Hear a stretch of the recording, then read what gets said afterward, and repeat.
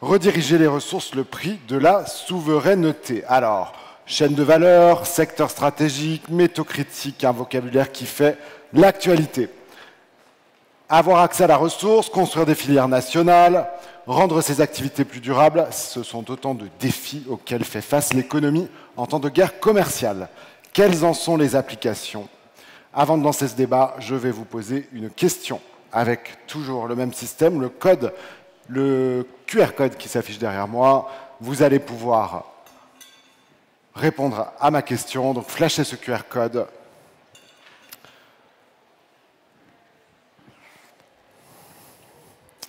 Et la question est, à quel autre mot associez-vous le mot souveraineté? C'est parti, on peut lancer les votes.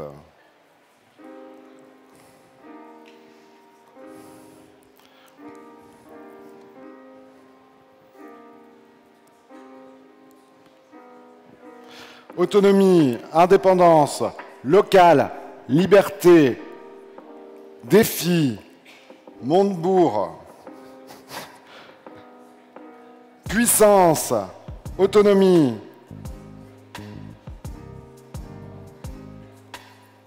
choix, abondance. Waouh. Merci beaucoup. Est-ce qu'on peut laisser le nuage de mots affiché à l'écran retour? Et je vais accueillir les intervenants pour qu'ils puissent évidemment lancer le débat avec ce nuage de mots. Et donc, on va accueillir tout de suite nos intervenants qui discutent dehors, parce qu'il fait beau aujourd'hui. Alors que nous avons un, joli nuage devant, devant nous, on affiche bien le nuage de mots, s'il vous plaît, dans les écrans retour. Voilà, parfait. Et dans les écrans retour, s'il vous plaît. Et on accueille tout de suite Ali Laidi, qui est journaliste chez France 24, Monsieur Antoine Armand, député Renaissance et membre de la Commission des affaires économiques à l'Assemblée nationale, Arsène Moula, directeur général du groupe Anne Claire Breton, fondatrice d'Underdog, Benoît Leménian, directeur général de Vercors et Étienne Tichit, directeur général de Novo Nordisk. Alors, est-ce qu'on peut réafficher le nuage de mots, s'il vous plaît? Car nos intervenants étaient dehors quand on a fait notre petit jeu dans les écrans retour. Oui, merci. On a fait un petit jeu pour vous lancer. À quel mot associez-vous la souveraineté? Je vous rappelle que vous pouvez vous connecter à Slide pour poser des questions en direct à nos intervenants. Et Ali prendra une question à la fin de la première partie, une autre à la fin de la deuxième partie. Ali, la parole est à vous. Merci euh, Mathieu. Bah, bienvenue pour euh, cette table ronde donc euh, consacrée à, la souveraineté. Alors pour définir assez rapidement la souveraineté, hein, si vous prenez le dictionnaire Larousse, c'est le pouvoir qui remporte sur les autres pouvoirs ou c'est l'indépendance. Moi, en économie, je résume la souveraineté tout simplement dans la capacité des acteurs d'agir en liberté en fonction de leurs besoins et de leurs objectifs. Donc euh, la question de la souveraineté est revenue euh, euh, au devant de la scène depuis un certain nombre d'années. Hein, depuis, moi je la marque depuis 2016, à la fois le Brexit, mais aussi l'élection d'un président Trump qui assume les guerres commerciales à la fois contre les adversaires des États-Unis, mais aussi contre les amis des États-Unis, l'Europe notamment, souvenez-vous, sur l'acier et l'aluminium.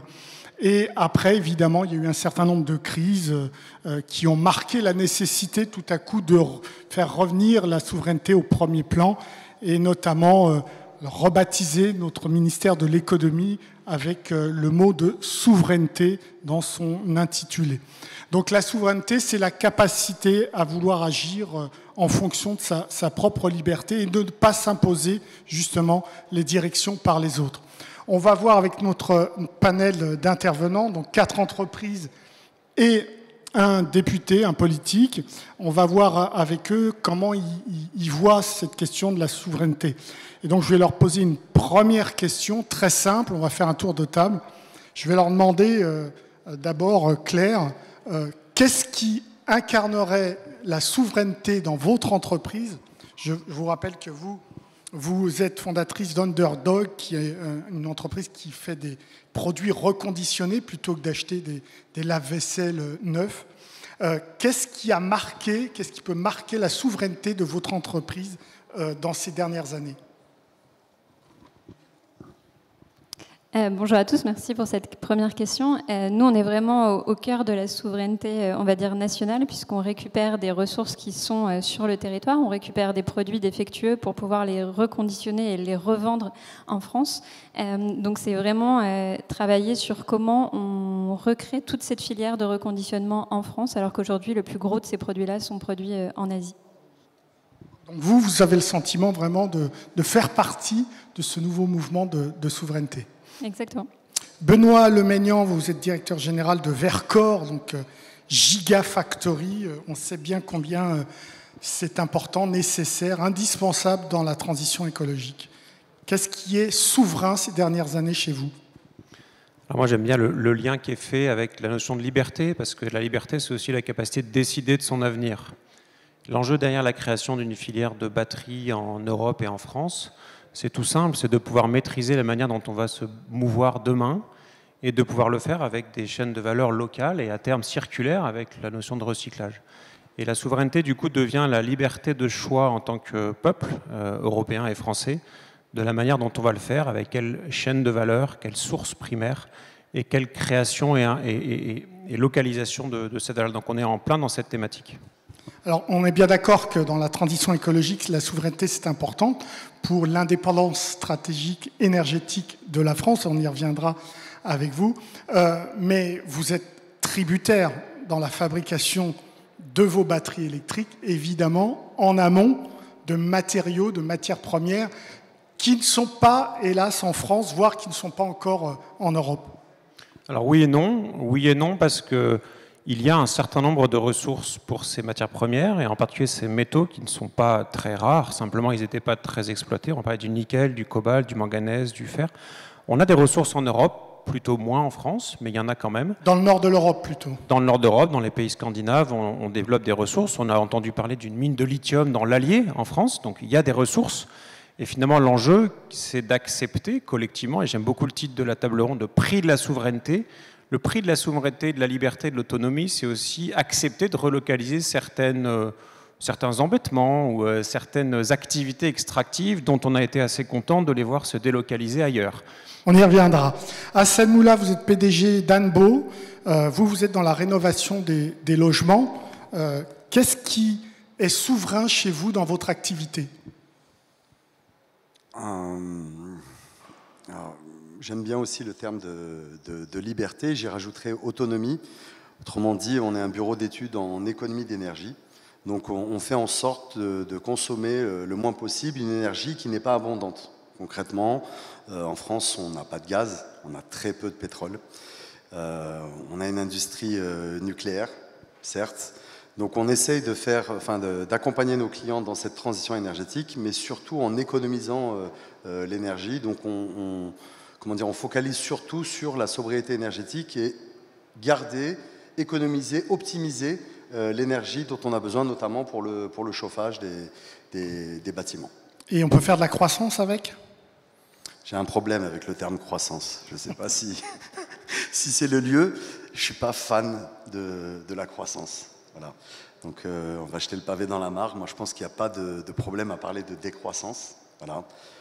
Euh, je sais qu'il y a pas mal d'entreprises et de chefs d'entreprise et que cette notion, elle n'est pas encore acceptée par tous, mais quand on parle de, décroissance, il euh, ne faut pas y voir forcément un, épouvantail et je pense qu'à un moment ou à un autre, on sera obligé d'y venir à cette décroissance.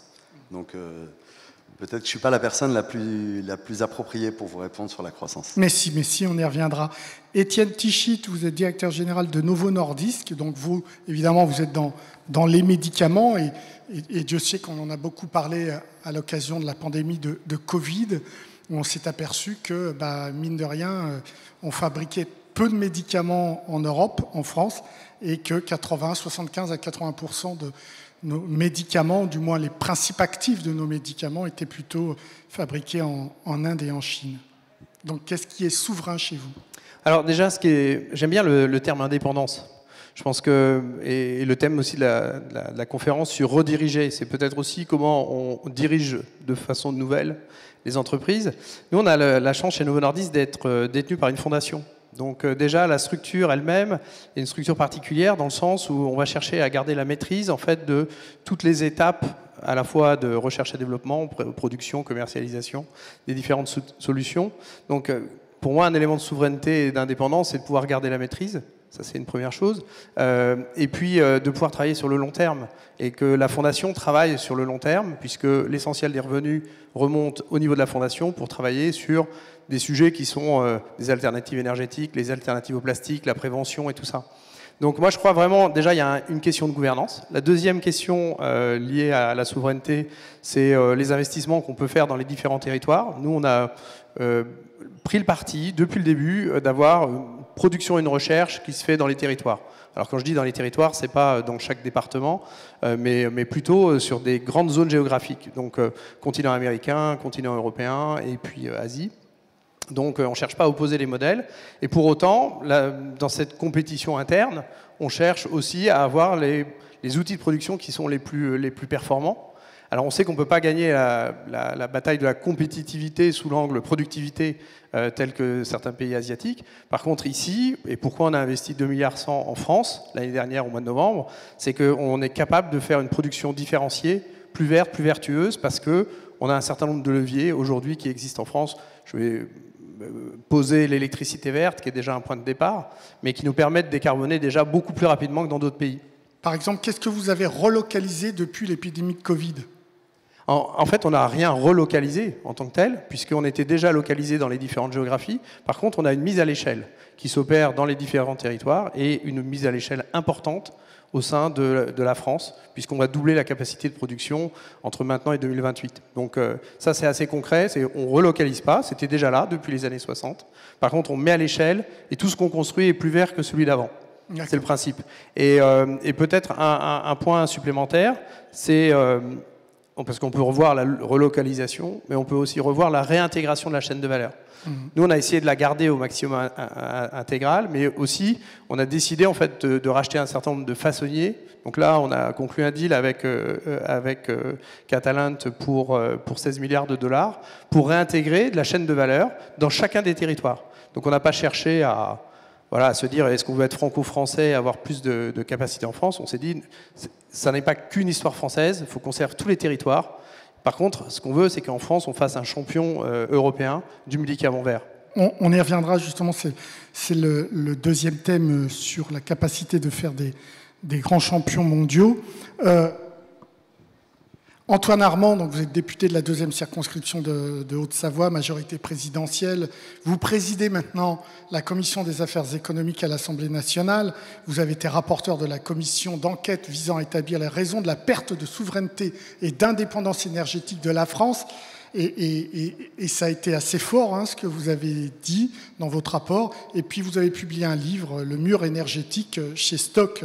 Euh, j'ai d'abord une question. Vous avez entendu les, quatre entrepreneurs. Euh, est-ce que vous avez senti l'étape supérieure qui était le patriotisme économique? Oui, et moi j'aime bien parler euh, de patriotisme écologique parce que je trouve que ça se reflète très bien dans les chacun. C'est un pays, ça? Chacune des filières, absolument. Ça va être la. Je connaissais pas le. Ça, va être la France. Chacune des filières, que ce soit euh, la production de nouveaux produits écologiques, que ce soit la rénovation, le reconditionnement ou la santé, on voit bien que la question, c'est pas être autosuffisant. On ne sera jamais autosuffisant en euh, tous les médicaments, en tous les matériaux dont on a besoin ou en tous les produits dont on a besoin. Mais c'est conscientiser, choisir et réduire nos dépendances. Et au moins avoir conscience d'abord de ce de quoi on dépend, et puis ensuite faire le choix en termes de prix, en termes de coût aussi, parce que la souveraineté, ça n'a pas de prix, mais ça a un coût. Celui de, de pouvoir en financer. Et au fond, derrière, c'est la question de réaliser que la souveraineté et l'écologie industriellement et probablement pour une des premières fois de notre histoire économique vont de pair. Hmm. Quand vous réduisez votre dépendance à l'étranger, vous réduisez d'abord votre dépendance au pétrole, au gaz, à des flux sur lesquels on a entre 30 jours et 3 mois d'avance et qui sont vitaux pour le pays. Donc non seulement vous produisez en France, mais surtout vous continuez à réduire l'empreinte carbone globale. Faut, faut des crises comme le Brexit, Trump, la Russie en Ukraine, la pandémie, pour que tout à coup on s'aperçoit qu'on est allé trop loin dans cette mondialisation et qu'il faille aujourd'hui retrouver une indépendance. Parce que, pardon, ça c'est des thèmes qui n'existaient pas il y a encore cinq ans, hein, dans la bouche d'entrepreneurs et de politiques. Oui, alors je ne sais pas si certains dans cette salle ont lu l'excellent livre de Jean-Baptiste Fressot sur la transition n'aura pas lieu, la transition écologique n'aura pas lieu, énergétique n'aura pas lieu. Qu'est-ce qu'il dit en une phrase? C'est qu'on a accumulé et accru nos dépendances. On ne consomme pas moins de charbon qu'avant, on consomme plus de charbon qu'avant, mais d'autres énergies. Et donc on n'a jamais été indépendant ou autosuffisant, à part euh, quand on utilisait des moulins à vent euh, et qu'on euh, se chauffait avec le soleil. Ce qui s'est passé, c'est qu'avec le progrès social et économique, on est devenu dépendant. Et oui, oui, il faut des crises. entreprises. Il faut des crises pour faire bouger les mammouths administratifs que sont devenus euh, les États euh, et le continent européen, pour le bienfait aussi des citoyens, pour la protection des droits, pour euh, le respect du droit contractuel. Mais il faut des crises pour que les pays européens se mettent autour de la table et se disent oui, effectivement, investir collectivement dans le vaccin, c'est plutôt une bonne idée. Il faut des crises pour qu'on se dise oui, il nous faut une part d'énergie renouvelable minimum dans notre mix, et il faut des crises pour qu'on se dise la production d'énergie décarbonée ne suffira pas et il faut qu'on ancre collectivement le mot de sobriété, le mot d'efficacité énergétique au cœur de nos pratiques quotidiennes économiques, et puis, euh, moi le premier, de nos politiques économiques directement. Merci. Alors, euh, fin du premier thème du, débat. Est-ce qu'il y a une première question Alors, je ne sais pas si, euh, comment on organise la question de la salle. Est-ce qu'il y a un micro?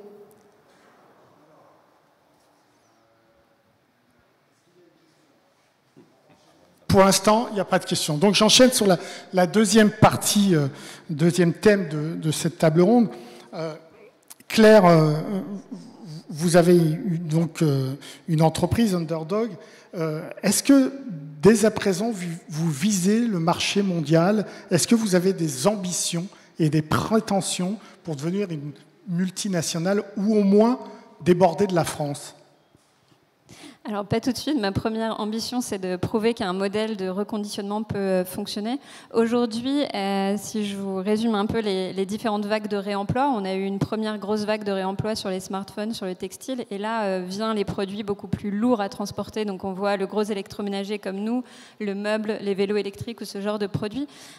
sur ces objets volumineux, il faut savoir que la filière sera française ou elle ne sera pas. C'est que euh, c'est des produits qui sont tellement lourds et chers à transporter que euh, nous, sur le gros électroménager, on doit sourcer nos produits en France, les reconditionner en France et les vendre en France. Donc à chaque ouverture de pays, ça veut dire euh, l'ouverture d'un nouvel entrepôt en local. donc c'est des filières qu'on doit construire nationalement. Aujourd'hui, on a de la chance, la France est en avance sur l'économie. Il n'y a pas de concurrents en Allemagne, en Italie, en Espagne? C'est vrai, vous êtes pionnier. Oui. Mais la France est pionnière sur beaucoup de sujets de l'économie circulaire. Donc, euh, pour une fois, on peut, on peut crier cocorico. Et, euh, et je pense qu'il y a une vraie opportunité euh, à prendre sur ce, sur ce secteur-là. On n'a pas le choix. La France doit devenir championne du réemploi.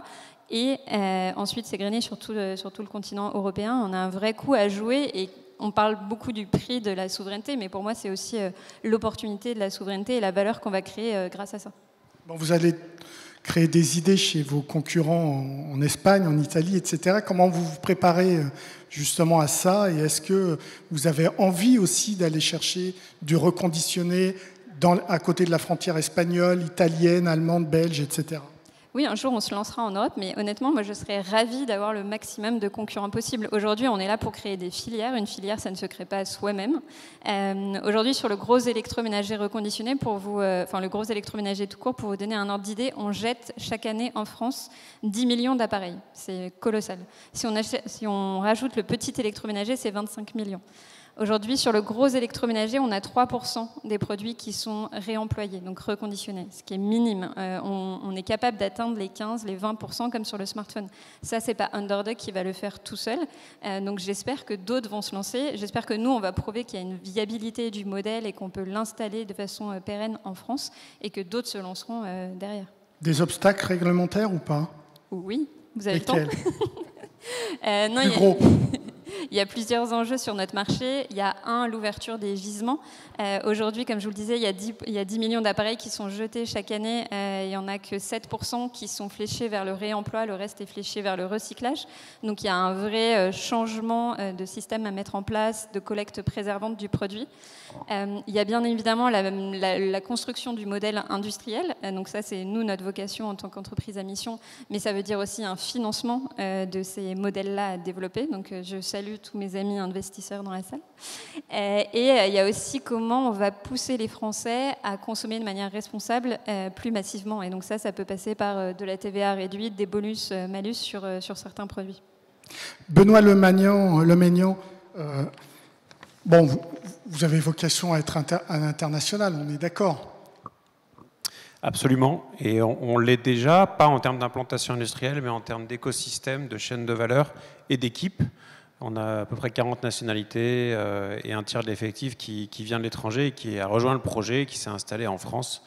Et soit dit en passant, on parle de souveraineté, on sous-estime à quel point la France est attractive pour les étrangers, à quel point un certain nombre de décisions, sans faire de politique, comme un exemple tout bête, le visa passeport talent, permettent aux entreprises et aux startups françaises d'accueillir des étrangers en quelques semaines, ce qui est évidemment impossible aux États-Unis. Essayez donc d'avoir une green card, et encore plus si Trump euh, repasse, c'est devenu très compliqué, alors qu'en France, on est très attractif et pour les technologies avancées, c'est un atout considérable.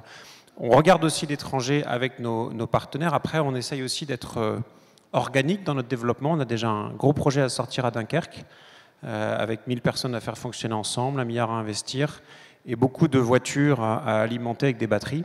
Euh, on regarde bien sûr le continent nord-américain, d'autres zones géographiques en Europe. Le marché, qui est un marché à très gros enjeux, est très dynamique. Donc il y a beaucoup d'opportunités.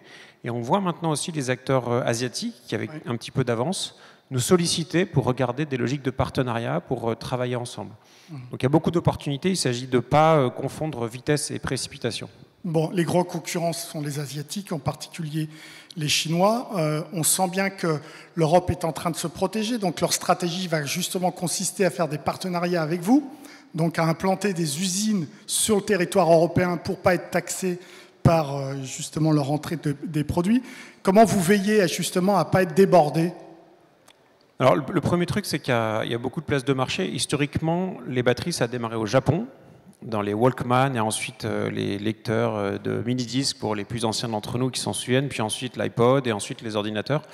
Ensuite, la, Corée a suivi. La Corée venait du monde de la bande magnétique. C'est là-dessus qu'ils ont embrayé sur les batteries. Et puis la Chine sait très bien faire copier. Donc ils ont copié, ils ont exécuté en faisant bosser les gens très forts. On sous-estime beaucoup en Europe la manière dont, depuis le Covid, la Chine a investi, surinvesti son industrie et arrive aujourd'hui à une situation de surcapacité tous azimuts et dans tous les secteurs. Ça dépasse largement la batterie. Et à quel point l'enjeu pour l'Europe en particulier, je pense que les États-Unis ont pris conscience de ça, c'est de comprendre en urgence qu'il n'y aura de création de valeur collective et de valeurs collectives à partager dans un continent qui n'a quasiment pas de ressources primaires, on les a déjà consommées, que si on a une industrie forte. C'est la seule condition. Les services n'ont pas de gain de productivité ou marginalement. Donc on a besoin d'une industrie forte et pour ça on a besoin d'une industrie localisée et souveraine au sens où le consommateur connecte dans son cerveau la partie droite et la partie gauche entre le consommateur et le salarié. Et donc, quand euh, votre grand-mère ou votre petit-fils ou vous-même vous achetez un produit fait en Chine, chaque fois vous appauvrissez l'Europe quand vous le faites. Alors, vous avez l'impression de vous enrichir parce que vous payez moins cher votre téléphone, votre ordinateur ou votre voiture. En réalité, vous baissez le montant de votre retraite et vous augmentez la dette du pays et la dette de l'Europe. Et ce lien-là, aujourd'hui, après 30 ans de libéralisme qui consiste essentiellement à mettre en concurrence les forces de travail, il aboutit à une situation qui est critique. Donc c'est l'enjeu dans lequel on est. Les Chinois ont fait le pari inverse. Ils ont dit à tout le monde venez nous aider, mais par contre c'est nous qui gardons le contrôle. À nous de faire la même chose. Les États-Unis, le Canada ont pris des mesures très fortes. Il est temps de sortir de la naïveté. J'utilise le mot facilement parce que maintenant tous les acteurs économiques le disent. Hein. et encore hier dans les échos, la chimie le dit, peut-être les médicaments le disent. Euh, il en va, je pense, de l'état de notre euh, système social collectif dans les décennies qui viennent. Hassan Moula, euh, ça, ça, vous préoccupe justement pour la rénovation des logements, le fait que les produits, bah, notamment photovoltaïques, etc., viennent principalement de, Chine Ça me préoccupe, euh, pas moi directement, mais nos clients. On a la chance de... Ah, ils payent moins cher, vos clients Oui et non. Je pense que... Euh, j'ai oublié votre nom, mais Benoît de Dunkerque. I love Dunkerque. Euh, Grenoble, je crois, au début. Oui, maintenant leur usine est à Dunkerque. ouais. Voilà. Donc I love Dunkerque. Euh, je pense qu'il a très bien résumé, c'est qu'à un moment, il faut se poser la question de savoir ce qu'on achète. Quoi. Et puis euh, moi, je prends tout le temps une phrase que, que me disait ma mère, qui disait on n'est pas assez riche pour acheter du, du pas cher. Voilà. Donc euh, les Chinois sont très bons. On ne peut pas dire que ce qu'ils font, c'est des mauvais produits, mais je pense qu'on assiste aussi à une prise de conscience euh, collective chez nos concitoyens. Et en tout cas, pour ma part, en tout cas pour mon activité, le fait d'être une entreprise française, le fait de produire et de proposer des, matériaux, par exemple pour l'isolation, qui sont des matériaux biosourcés, à filière courte, on travaille avec une, coopérative agricole euh, vendéenne, et eh ben finalement, ce discours, il plaît aussi à nos clients. C'est-à-dire qu'on fait économiser de l'énergie, parce que l'énergie la moins chère, c'est celle qu'on ne consomme pas, mais il y a des manières de le faire aussi. Et donc finalement, de proposer un produit franco-français qu'on maîtrise, euh, on fait travailler la, filière locale, et eh ben, certains de nos clients sont prêts à payer plus cher, parce que j'ai vu que c'était une des questions, peut-être que vous allez, euh, euh, vous allez la lire aussi, à condition qu'on informe aussi le consommateur. Autrement dit, qu'on lui explique, comme vient de faire Benoît, et de dire que quand tu achètes un produit qui vient de ton pays, tu fais aussi vivre ton économie, tu permets à ton pays de gagner en souveraineté. Alors on s'est bien réveillé avec euh, l'invasion de l'Ukraine, à se rendre compte à ce moment-là que finalement euh, on n'était pas si souverain que ça et qu'on était obligé d'aller mendier euh, du gaz liquéfié au Qatar ou de recréer des, ports de méthanisation pour importer du, gaz américain. Et ben, finalement, cette prise de, conscience, peut-être de laisser la parole après aux politiques, parce que je leur en veux un peu là-dessus, finalement. C'est de dire, est-ce que ce n'est pas le rôle aussi du politique d'avoir cette vision systémique, plutôt que de culpabiliser le consommateur, le citoyen lambda, à dire, il faut trier tes déchets, et ainsi de suite. Il y a un problème d'ordre de grandeur. Donc je ne sais pas si on aura le temps de développer sur euh, la croissance, mais ce serait intéressant quand même que les politiques s'emparent du sujet, et pas uniquement en période électorale, s'empare du sujet pour essayer de mettre en avant la triple comptabilité, pour essayer de mettre en avant le fabriqué local, et ainsi de suite. Et nous, entreprises, on a aussi notre rôle à jouer. On ne peut pas se cacher derrière le fait de dire c'est soit le petit usage du consommateur, soit le systémique du politique. Je pense que nous, entreprises, et on est bien ici tous les quatre, et on est des centaines, des milliers d'autres en vérité, hein. je, l'ai découvert avec la, la, Convention des entreprises pour, pour le climat, en fait, qu'on a notre rôle à jouer, on a notre part, et elle n'est pas minime, elle est très importante. Donc plus on a d'entreprises qui en prennent conscience, plus on avancera vite. Étienne Tichit, euh, je ne sais pas, hein, vous avez délocalisé en Asie euh, dans votre histoire ou pas? On a construit là-bas. Voilà. Pour le marché asiatique, oui. D'accord. Et aujourd'hui, est-ce que le fait de relocaliser depuis l'Asie, est-ce que c'est vraiment le coût du travail qui est le plus important ou est-ce qu'au contraire, il a vraiment baissé vu l'augmentation euh, des salaires euh, en, Chine. Est-ce que pour vous, c'est plus du tout un critère, le coût du travail? Alors, je ne vais pas parler pour le secteur, je vais parler pour Novo. Euh, pour nous, on a toujours considéré chaque géographie comme étant une entité à part entière. Donc, ce qui fait qu'on produit euh, pour l'Asie essentiellement pour les Asiatiques, euh, en Europe essentiellement pour les Européens. Donc euh, là, on déborde un petit peu de l'Europe avec l'usine de Chartres, puisque on produit, on exporte plus de 95% de ce qu'on produit à Chartres.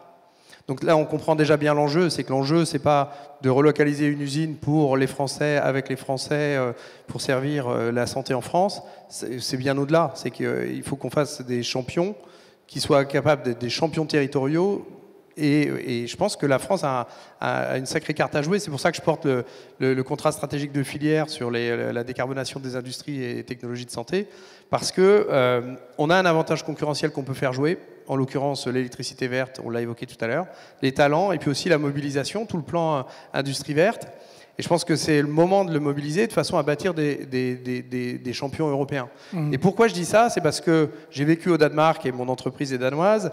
Euh, dans les pays nordiques, par exemple, la commande publique sur le médicament, pour un tiers de la note qui va vous être donnée pour être référencée, un tiers de cette note va être sur des conditions euh, écologiques. Mmh. Euh, en Angleterre, c'est pareil. Le NHS England va sélectionner les produits qui sont les plus verts. En France, je pousse avec le, contrat stratégique de filière à faire en sorte que on choisisse les produits les plus verts et que les entreprises soient rémunérées.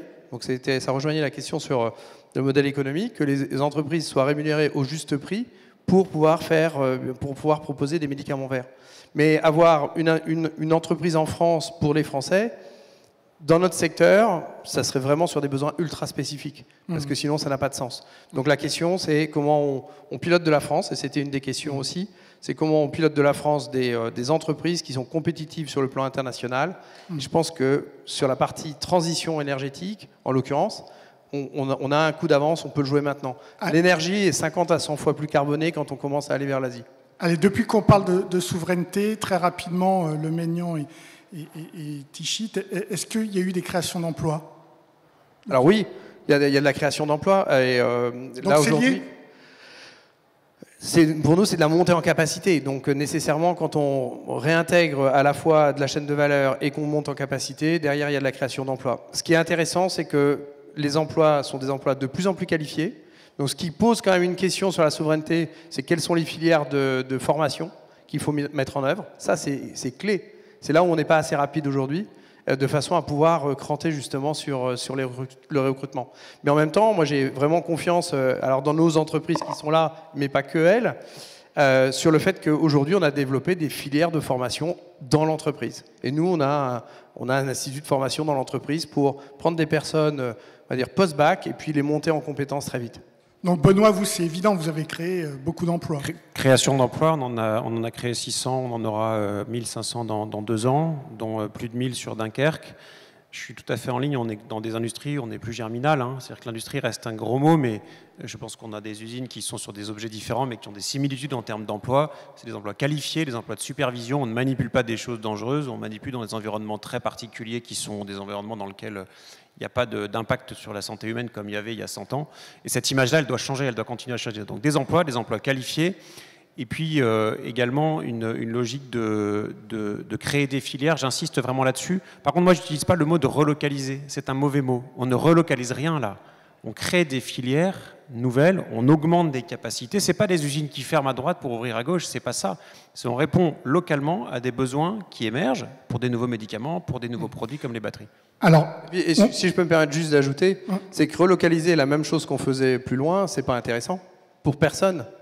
Par contre, si on revoit tout le process de production pour avoir une production plus verte, plus efficace, plus, euh, plus vertueuse aussi, euh, et aussi euh, portée sur l'innovation, derrière, euh, on est en train de recréer une filière qui serait une filière dynamique, et pas simplement euh, faire bouger un- un- une industrie d'un endroit à un autre. Sauf, sauf que, sauf que, sur le médicament, justement, le gouvernement a relocalisé le doliprane, et c'est donc qu'il y avait un intérêt à le faire. Donc, euh, il y a chez le politique l'envie aussi de relocaliser, de recréer des filières qui avaient quasiment disparu en France. Oui, parce qu'il y a un besoin sociétal aussi. C'est un peu ce qu'on disait tout à l'heure en disant on choisit nos dépendances. Par exemple, je pense que socialement, on considère qu'il est inacceptable que la France ne soit pas capable de disposer d'un minimum d'un certain nombre de procédés actifs, de, euh, De Doliprane. produits, de doliprane. Et ça, c'est venu, comme vous disiez, avec la succession des crises. Bon, donc il y a des choses dont on peut absolument pas se passer. On peut pas être autosuffisant, mais on ne veut pas absolument s'en passer. À nous de créer les conditions cadres. Ça, c'est la stabilité fiscale réglementaire, la formation, les infrastructures, l'énergie abondante et décarbonée. Et puis il y a les politiques plus offensives où on porte, comme on le fait sur les batteries, comme on le fait sur la santé euh, ou les nanotechnologies, où on essaye de porter avec des subventions publiques françaises et européennes des choses sur lesquelles on peut non pas relocaliser, mais reprendre le leadership, reprendre de l'avance et que les pouvoirs publics soient alignés, soient plus agiles réglementairement et avancent. Et puis, il y a ce qu'on ne peut pas faire chez nous, mais pour lequel on aimerait ne pas être trop dépendant. Et c'est là qu'intervient l'échelon européen. Et Benoît a été gentil tout à l'heure en parlant de naïveté. La vérité, c'est qu'on a été au niveau européen ou aveugle ou cynique face à la désindustrialisation. Il y a même un ancien directeur général Enfin, les Français en particulier. Les Allemands n'ont pas désindustrialisé. faut- Même les Italiens sont devant nous. Vous, vous savez, c'est très français de dire qu'on est les pires en Europe. Et allez en Allemagne, vous allez voir, les Allemands disent toute la journée, si on avait fait comme les Français, on n'en serait pas là. Donc je Ah, vais les vous dire, chiffres- soyons, soyons contents d'être français. On n'a pas à rougir de la France ni de notre patriotisme et industriel en la matière. Et regardez l'Allemagne en ce moment. Je pense que s'il y a Je des pensais qu'il y avait un problème, justement. Vous venez de dire qu'on a trop les désindustrialisé. mais, mais en européen, éc- écoutez euh, une interview récente de, de l'ancien directeur général de la concurrence belge qui disait, il y a encore quelques années, l'industrie lourde, on n'en a pas besoin en Europe. Il y a bien des gens qui le feront. La France se compare pas à la Belgique. Non, je, mais il était directeur général de la concurrence européenne. C'est concurrence, c'est l'Allemagne, c'est pas. Non, mais justement, c'est précisément parce que nos amis européens croyaient pouvoir tirer parti de la désindustrialisation française et qu'un jour on s'est aperçu que quand on perdait, on perdait, collectivement, on perdait en meute, qu'on s'est réveillé à la faveur des crises. Je vous donne un exemple parmi d'autres parce qu'on en parlait tout à l'heure. Sur les terres rares ou les matériaux critiques, comme vous voulez, qui sont indispensables à l'électrification, euh, à la décarbonation, il y a des choses qu'on peut euh, avoir en Europe et d'autres pas. Ce qu'on a en Europe, il faut absolument qu'on puisse le mutualiser. Donc quand l'Europe prend un programme euh, international pour essayer de mutualiser, voir ce qu'on peut développer, où on avance. Ça prend du temps, on aimerait que ça aille plus vite, mais au moins on prend une direction. Et puis après, il y a évidemment la question du fair trade, c'est-à-dire que on ne peut pas continuer, c'est l'ambition du mécanisme carbone aux frontières, on ne peut pas continuer à ne pas intégrer dans nos produits, dans leur pricing et dans la taxation, toutes les externalités négatives qu'on importe avec, euh, la manière dont, quelque chose est fabriqué en Chine en termes de consommation en eau, en termes de charbon, en termes de biodiversité, etc. Et donc il faut qu'on arrive à le répercuter à un moment dans le prix. Alors ça répond à une partie des questions. Je ne veux pas être provoquant, mais il ne faut pas simplement viser de faire du français pas cher, il faut renchérir au juste prix des produits qu'on achète parfois made in China qui ne reflètent pas le prix et l'impact global pour la planète. Concrètement, est-ce qu'il faut réouvrir ou ouvrir des mines en France Mais évidemment. C'est-à-dire qu'on ne peut pas vouloir faire de l'industrie avoir une ambition sérieuse en matière de filière, on parle tous de filière industrielle, et ne pas réfléchir au premier maillon de la chaîne. Vous savez de quand date le dernier inventaire minier en France? Des années 80. On ne sait même plus actuellement, avec une valeur actualisée, et c'est valable pour l'eau aussi, ce qu'il y a dans nos sous-sols. Ça ne veut pas dire qu'on va se jeter dessus, faire des extractions abominables qui consomment de l'eau, etc. Mais enfin, si on veut avoir une filière de batterie électrique euh, en France et qu'on ne se donne pas les moyens d'exploiter la mine de lithium qu'il peut y avoir dans le centre de la France, on est juste incohérent et on renvoie notre problématique écologique à l'Allemagne ou à la Chine. Benoît ouais, Deux choses. Euh, sur les mines, on ne veut pas voir, et je trouve que d'ailleurs c'est intéressant dans, un peu de, dans cette audience de se poser cette question-là, que le basculement vers l'électrique, c'est une division par 100 en ordre de grandeur de l'extractivisme mondial. Donc plutôt d'avoir le débit de la Seine en consommation de pétrole tous les jours, repasser devant la Seine, regarder 5 minutes et dites-vous c'est ça qu'on consomme en instantané en pétrole, extraire 100 fois moins, une fois, et ensuite le recycler en circulaire. Donc cette transformation, elle nécessite d'extraire des choses différentes, mais beaucoup moins. Sauf que le pétrole, c'est pas chez nous, c'est ailleurs, c'est sous-sol, donc en fait, ça n'existe pas. La deuxième chose, je vois la question, les Français prêts à payer plus cher pour du Made in France. Et là, là, moi, ce que je dis, c'est, est-ce que vous êtes prêts, en tant que consommateur, à être payé ce que les gens qui ont produit les choses et les services que vous achetez sont payés? Parce que cette réflexivité, elle est nécessaire, sinon c'est trop facile. Sinon, on dit ah oui, non, mais attends, ça coûte plus cher si je, si je fabrique ça en France ou en Europe ou n'importe où. Alors, d'une part, les salaires à Shanghai sont plus élevés qu'en France, il faut le savoir. Je ne parle même pas des États-Unis. Ah, d'autre part. Shanghai. Shanghai, c'est pas la Chine. Oui, sur une partie de la Chine, les ingénieurs batteries que j'embauche, je les paye moins cher en France que ce qu'ils sont payés en Chine. Ça, c'est quand même la réalité. Les opérateurs, c'est un peu différent. Mais quand même, cette question est importante. Est-ce que je suis prêt à être payé en tant que salarié ce qu'il est nécessaire de payer les salariés qui produisent les biens et les services dont je dispose en tant que consommateur. Parce que sinon, c'est un cercle vicieux perdant-perdant. Hein. Est-ce qu'il y a des questions euh... Ah ben il y, a une question sur les super profits Je vois une question sur les super profits. Je voudrais pas faire comme si j'avais pas vu. Eh ben allez-y. Euh, non mais alors moi j'appartiens à une sensibilité qui qui considère que quand on est dans le top 5 des pays de l'OCDE qui taxent le plus au monde, si la solution était d'augmenter les impôts, on serait la première puissance mondiale. Donc je vais être très clair là-dessus. Je ne pense pas que la direction française soit de réaugmenter euh, les impôts encore plus quand on n'est pas encore, quand on n'a pas encore une effectivité fiscale à la hauteur, c'est-à-dire que les taux d'impôt sur les sociétés ne sont pas les taux effectivement payés par les entreprises. Je préfère qu'on avance sur la lutte contre l'évasion fiscale plutôt que d'inventer. Excusez-moi, mais ça, fait juste 2-3 ans que Bruno Le Maire essaye d'augmenter les impôts des sociétés de manière mondiale. Donc il y a bien quand même des tentatives d'augmenter les impôts des sociétés à 15%. Les États-Unis étaient à 25%. donc ce débat n'est pas un débat euh, nous, qui, il y a deux choses... doit disparaître. Il existe ce débat. il y a deux choses différentes. Il y a le fait que nous essayons d'établir des, des, conditions de concurrence fiscale loyales. donc, donc, la France a baissé son taux d'impôt sur les sociétés de 33 à 25% et a demandé à l'ensemble des pays européens d'appliquer les leurs de manière équitable. Et il y a l'effort que l'on fait pour qu'il y ait un taux d'impôt sur les sociétés minimales mondial pour rétablir du fair trade. Ça, c'est une Donc il y a de l'argent à aller chercher dans les impôts, c'est ce qu'on est en train de vous, vous Oui, mais ce que je vous dis, c'est que je ne suis pas sûr. Donc il ne faut pas dire qu'il n'y a pas d'impôt possible. Il y a bien de l'argent Bah, à aller chercher. Pardon, je, je- je- si, je, si je considère qu'il ne faut pas créer une nouvelle taxation, je me permets de, de le dire. Bah, non, mais c'est le Euh, gouvernement qui va, en qui va en créer une.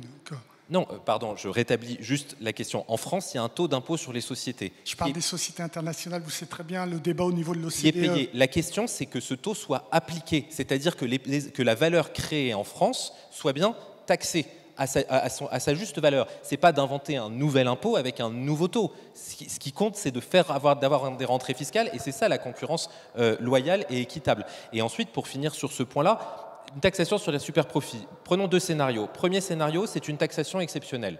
Elle dure un an, donc elle ne rapporte pas grand-chose et elle envoie un signal d'attractivité extrêmement négatif aux investisseurs étrangers alors qu'on est devenu le premier pays européen depuis plusieurs années.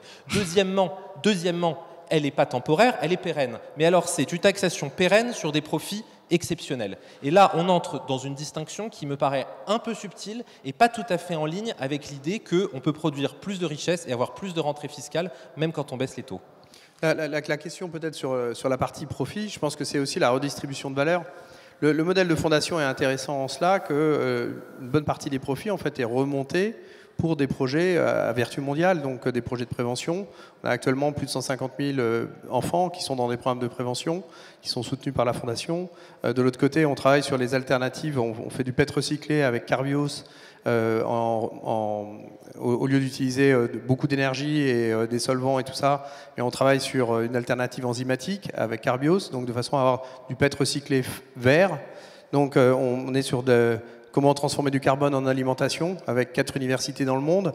Donc la question, elle est, euh, elle est sur la partie super profit. Je pense que la question, c'est quel est le mode de gouvernance qui permette de, de redistribuer le profit euh, pour, des, euh, pour des enjeux qui, sont, qui vont au-delà de la mission de l'entreprise elle-même. Mm. Donc que la fondation, en fait, puisse travailler sur des choses qui sont plus long terme, qui sont plus déterminantes. Et aujourd'hui, si, si je regarde mon entreprise, aujourd'hui on est devenu, euh, et la fondation Novo Nordisk est devenue la, la première fondation mondiale euh, en termes de, de- de- avec 100, 113 milliards de dollars, donc devant celle de Bill et, euh, Bill et Melinda Gates, euh, grâce à ce système-là. Et aujourd'hui, on redistribue énormément de valeur et on travaille énormément dans le monde entier sur des programmes de prévention, d'accès aux soins et tout ça, et d'alternatives écologiques. Ah, Donc la question, elle est, euh, c'est la redistribution et comment circule l'argent au sein de l'entreprise et au sein des différentes entités de l'entreprise. Hassan Moula, comment demander aux gens de payer plus cher Parce que c'est justement pa- parcours euh, court, euh, alors que les salaires ne suivent pas? On demande aux gens de payer plus cher un service différent. Oui, mais c'est- dans le portefeuille, ça revient au même. Pas forcément. Pas forcément. Je vais rester sur, euh, sur l'isolant, parce que c'est- c'est le sujet que je maîtrise le mieux. Enfin, je- J'aurais pu développer un peu sur les super profits, mais j'aurais pas été d'accord avec, euh, avec monsieur. Mais on va rester sur l'isolant, c'est pas grave, c'est plus consensuel. Euh, quand vous proposez un isolant biosourcé, il vous apporte un confort d'hiver, mais aussi un confort d'été. Donc c'est normal qu'on ne le vende pas au prix de la laine de verre. Oui, oui. C'est un produit français, c'est un produit efficace, c'est un double puits de carbone. Effectivement, ça coûte plus cher. Ça coûte plus cher à l'achat, ça coûte plus cher à la mise en œuvre. Mais les avantages sont nettement supérieurs. Donc, on utilise par un stratagème, si on veut, le, comment dire, euh, le, fait de vendre un produit plus cher parce qu'il est made in France, mais parce qu'il apporte aussi d'autres propriétés. Alors, c'est peut-être pas forcément valable pour tout, hein, mais je dis dans mon secteur d'activité, le faire de l'économie d'énergie, c'est bien pour l'hiver.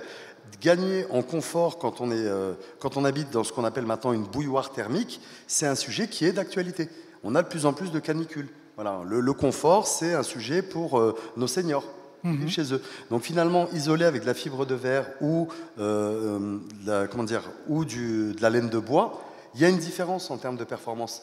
Voilà. Donc on le vend parce que c'est du Made in France, mais on y rajoute dans le petit package qu'on fait, on y rajoute aussi des, des avantages euh, techniques. Donc ça suffira pas de mettre un drapeau bleu, blanc, rouge ou une marinière. Ça, je- j'en suis convaincu aussi. À un moment, c'est euh, l'argent qui parle. Mais si on est capable, en France, de, de- de mettre en avant aussi nos- nos- notre savoir-faire, je pense que ça peut être accepté par nos concitoyens. Allez, dernière partie euh, très rapide. Euh, chacun d'entre vous, euh, une ou deux mesures euh, vraiment importantes pour euh, assurer cette souveraineté, cette indépendance et cette liberté d'entrepreneur. Une ou deux, ok, faut choisir. On a beaucoup. je suis aussi ambassadrice euh, pour le, pour le mouvement pardon, Impact France dans les Pays de la Loire et on a beaucoup travaillé sur euh, les besoins des acteurs du réemploi parce que, comme je vous le disais, je suis assez persuadée que la France peut devenir euh, championne de, ce secteur-là et qu'il y a un vrai, une vraie opportunité. Sur le Remade in France, on a beaucoup parlé du prix, mais nous, pour les filières de reconditionnement, on arrive à donner cette accessibilité prix aux consommateurs. Donc il y a toute une traction sur laquelle il faut qu'on joue. La première, enfin, une, des, une, des, une des mesures phares que nous on défend, c'est l'accès au gisement. Euh, et cet accès au gisement de produits défectueux, ça va avec des, euh, des objectifs sur les éco-organismes qui sont beaucoup plus ambitieux euh, sur le réemploi. et il y a beaucoup de filières qui veulent avoir des objectifs beaucoup plus ambitieux. Et ce serait de monter et de consacrer, enfin, de monter ces objectifs au moins à 15% de réemploi. Benoît? Acheter des voitures électriques faites en France. Euh, posez-vous la question de combien sont payés les gens qui font les choses que vous utilisez. Je, m'inscris un tout petit peu en faux sur les questions là, qui, traînent sur le, le, haro sur les profits. Que les entreprises euh, européennes ou françaises fassent des profits, c'est très bien. Et heureusement. Après, si vous voulez que Total fasse moins de profit, acheter plus de pétrole, ils font moins de profit. Hein, et, personne ne les oblige, personne ne nous oblige. Mais c'est bien parce qu'ils investissent et que c'est aussi des moyens pour investir. Donc je trouve que ça, il faudrait plutôt le voir de manière positive. Et donc je terminerai en disant qu'il faut un peu plus de confiance, un peu moins de défiance. Ça permettra de trouver des chemins pour avancer euh, plus vite sur la création de ces nouvelles filières dont on a collectivement, impérativement besoin. Asen euh, Moi, je dirais que pour que ce soit efficace, il faut que ce soit un changement d'échelle, donc forcément euh, bien au-dessus de nous. Et euh, tout à l'heure, on avait évoqué rapidement euh, la triple comptabilité, mais je dirais que pour les entreprises, il faudrait commencer à réfléchir autrement que uniquement en chiffre d'affaires et en profit, mais voir aussi les enjeux environnementaux, sociaux, sociétaux, et peut-être, peut-être que je, vis dans une utopie, mais c'est pas grave, peut-être commencer à réfléchir à l'imposition aussi de ces entreprises. Et dire qu'une entreprise vertueuse, une entreprise qui produit en France, une entreprise qui a conscience de, tous ces enjeux, elle ne peut pas être taxée de la même manière que Total, puisqu'on a cité le nom, je ne voulais pas spécialement euh, cibler une entreprise, mais on reste dessus, qui euh, consacre une grosse partie de, ses investissements à du forage encore maintenant. Voilà. Alors qu'on sait que le, mur, il est devant nous, et au lieu de ralentir, on accélère.